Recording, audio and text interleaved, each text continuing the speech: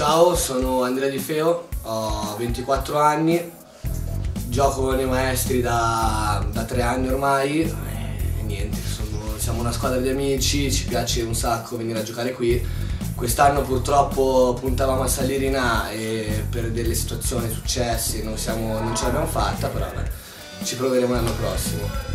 Gioco a pallone praticamente da quando ho 4 anni, ovviamente prima di calcio al pallone l'ho dato in cortile con gli amici, sai che gli schini, partitine così. Mentre il primo anno che ho fatto è stato appunto la scuola calcio a 5 anni, a Giorgello, una squadra di Corsico dove abito io. E niente, lì ho fatto un bel po' di anni, vinto qualche campionato, mi sono tolto un bel po' di soddisfazioni. Dopodiché ho girato altre 3-4 squadre ed ho finito a Cesano Boscone. A 16 anni ho finito presto perché poi ho preferito divertirmi e fare altro e quindi la carriera calcistica è, è finita a 16 anni appunto. Lì a Cesano, che abbiamo fatto i regionali, metà classifica. ecco. Il passaggio al 7 è avvenuto dopo qualche anno che eravamo fermi io e altri amici che hanno smesso per la stessa cavolata che ho fatto io, appunto, per andarsi a divertire il sabato, la domenica sera e il venerdì sera. E niente, siccome ci mancava, quindi comunque sia siamo sempre andati a giocare a 5 piuttosto che partite e niente, volevamo ritornare diciamo abbastanza competitivi e abbiamo provato a buttarci appunto in un campionato a 7 e ci è andato bene direi. Di me come calciatore direi guarda che sono sicuramente un bel, difen- sono un bel difensore mastino, tecnica me la cavo, ovviamente piede da difensore, però diciamo che, che me la cavo. Più che altro punto tutto sulla grinta, che quella non mi manca mai, anzi forse a volte no, fin troppa. E quindi niente, punto tutto appunto sulla grinta e comunque sia sulla voglia che ho sempre e che ci metto quando sono in campo. Qualcosa che mi è mancato sicuramente è l'usare la testa. Io purtroppo quando gioco mi facevo prendere praticamente sempre dalla foga e, e non ragiono più, non mi passa più l'ossigeno e secondo me questo è stato uno, il principale difetto che ha fatto sì che appunto la mia carriera calcistica si sia fermata così presto e che tuttora quando gioco eh, tante volte rischio gialli, rossi, squalifiche, purtroppo è più forte di me, quando entro sul tappeto verde non, non capisco più niente, non mi riesco a fermare tante volte. Non sono tifosissimo, tifo Inter e calcola che fino a qualche anno fa l'ho sempre seguita, sia a San Siro che in trasferta. Ho anche lavorato per, per la curva, quindi ero proprio, cioè tutte le domeniche ero là.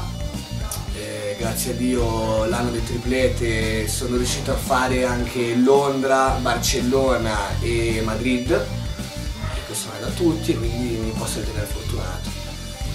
Ti dico una, nella, car- nella carriera calcistica 11 è stata una doppietta, adesso non mi ricordo bene l'anno, l'anno che fosse, però eh, una doppietta su calcio di punizione, quindi su due punizioni dove vincemmo quella partita ed era stra importante appunto per- perché eravamo verso la fine del campionato.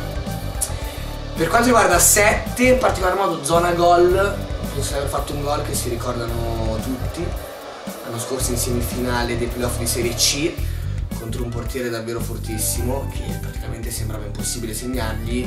Feci un gol praticamente da fuori area, penso da almeno un 30 metri al volo sotto l'incrocio. e Non me lo dimenticherò mai. Non penso solo io, penso anche il portiere e tutti quelli che erano lì al campo quel giorno là.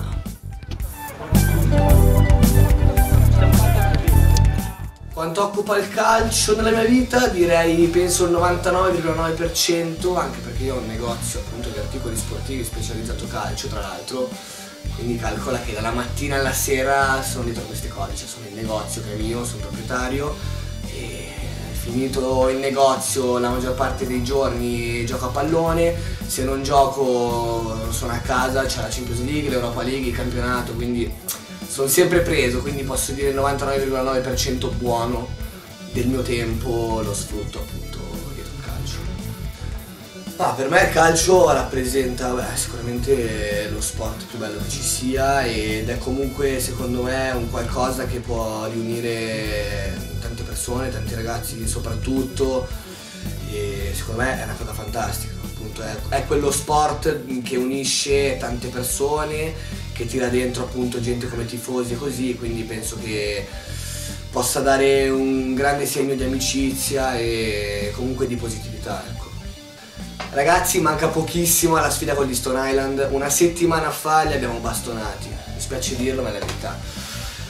Oggi purtroppo uh, siamo in difficoltà nel senso che ci mancano tre dei nostri più forti giocatori.